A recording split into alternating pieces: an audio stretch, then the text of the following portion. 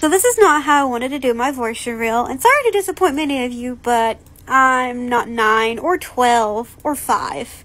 I'm very much a 20 year old that lives on her own that plays with dolls.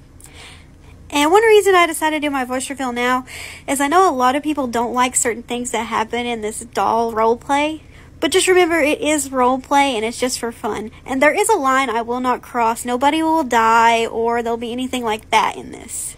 This role play is just for fun, and if anybody does not like a certain content portion of it, you can just scroll past or move on and look at if different creators or go and check out other videos on my page.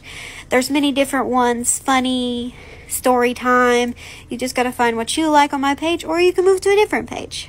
But I hope you have a good day and to all my followers, I hope you enjoy my content and I hope you all have a very blessed day.